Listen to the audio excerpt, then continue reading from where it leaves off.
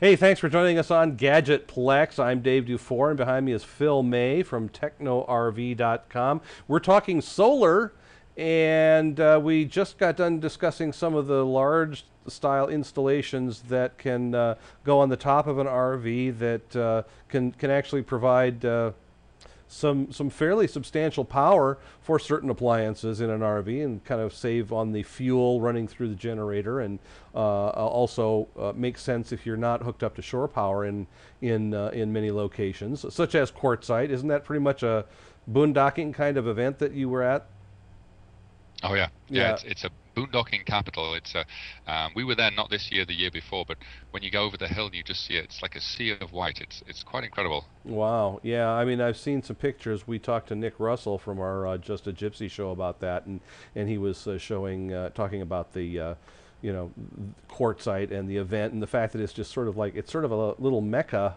uh, anyway, uh, but obviously, uh, I, I, would imagine that that's a pretty good place. It's sort of like, uh, you know, when I was a kid, they used to show cars on the Bonneville salt flats, you know, that they used to test cars out there.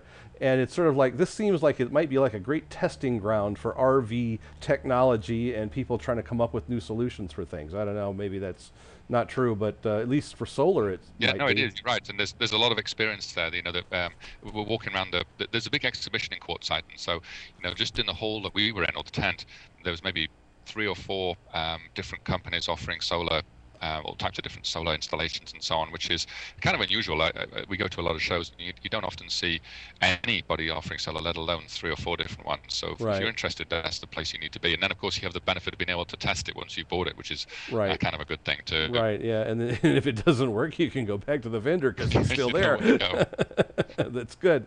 Okay. Well, um, what uh, we have uh, we have some sort of uh, I, I don't say miniature, but smaller uh, scale kinds of solar devices that you can use to recharge certain devices or power uh, smaller devices. What what do we have to start with?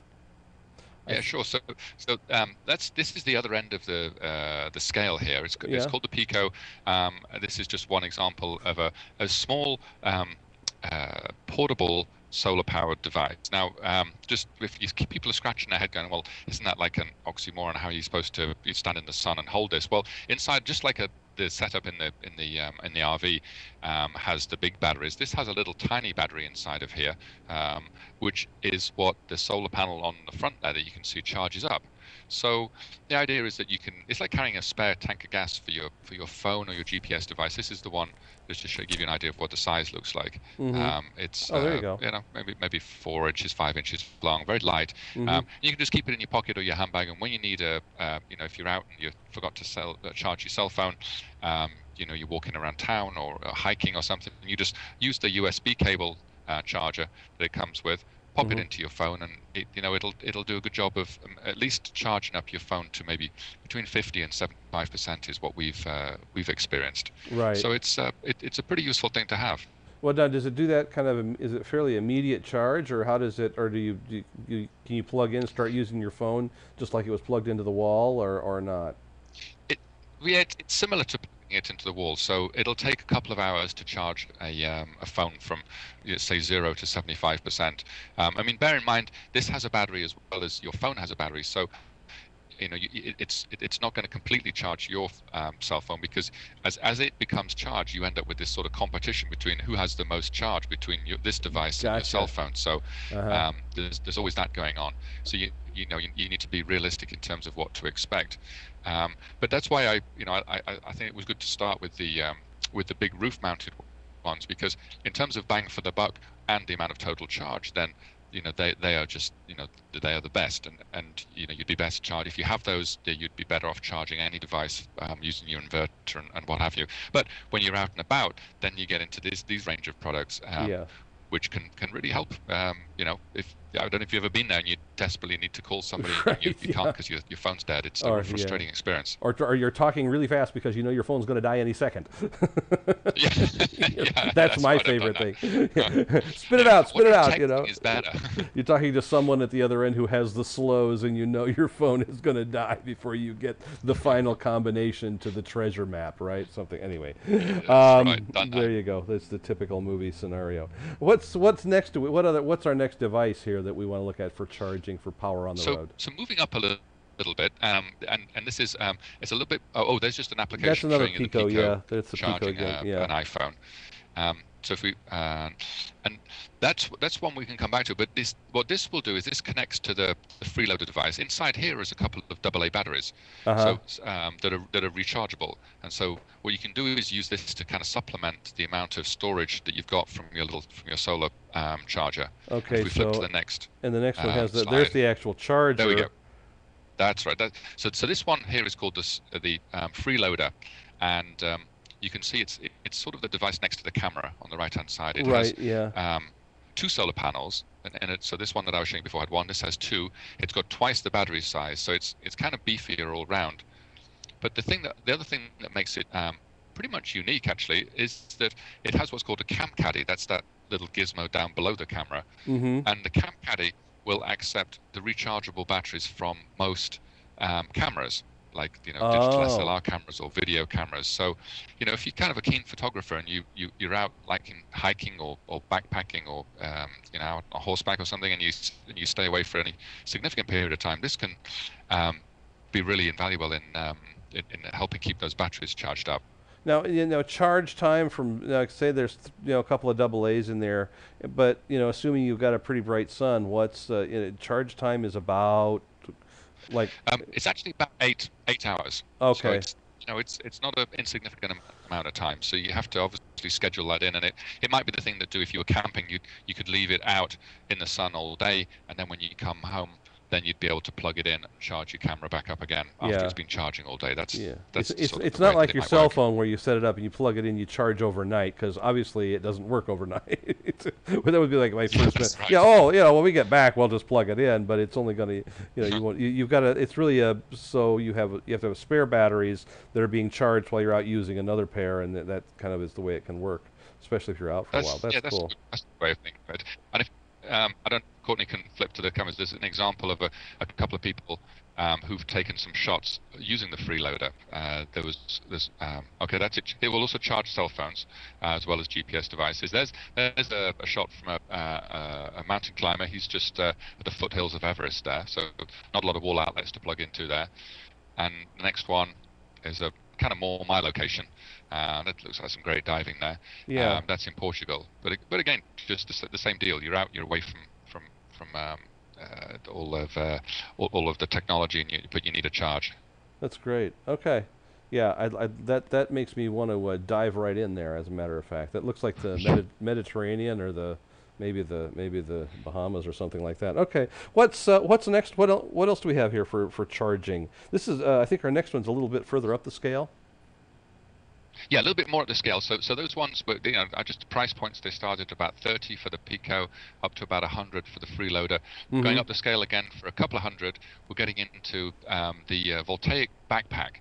Um, it's kind of a nice concept. So if you're a big hiker or backpacker, or even just you know walking around towns, um, whilst you're doing that, those little solar panels on the back are charging up um, some um, rechargeable batteries, just the same concept, uh, that are built into the backpack. So you can have your iPod plugged in, or when you get back, you've always got some juice to be able to, to recharge your, your portable devices. It's Mhm. kind of kind of a neat idea, rather than um, you know being able to bring that with you and utilize the, the free space on your back. Well, now, eh, okay, now, how many devices can you charge at a time with something like that? I mean, can you can you split the power coming out of that and have like maybe a cell phone and a and an iPod and maybe a camera battery, all three going, or is it not really? Are you better off doing things kind No, of one at a time? Yeah, you're probably better. You might be able to split and do a couple, maybe an iPod and one other thing, just because they don't take as much juice. But generally, they're they're one at a time. Mhm. So you, you do one and then the other.